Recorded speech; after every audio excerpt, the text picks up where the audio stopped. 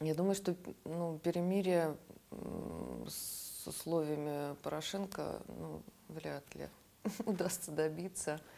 Ну, просто почему я так думаю? Потому что вот по опыту, когда подобное происходит, допустим, в других странах, да, это, к сожалению, затягивается на какое-то долгое время.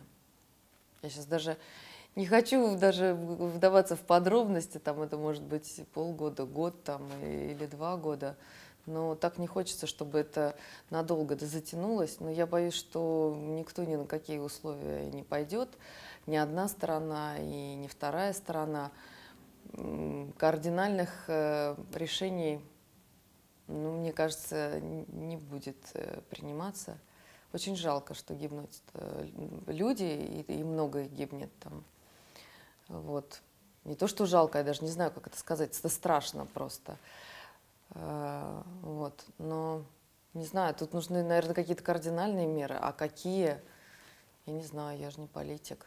Но так, э, конечно, никто не пойдет ни на какое перемирие, это понятно. Я думаю, и Порошенко это понимает, и все остальные.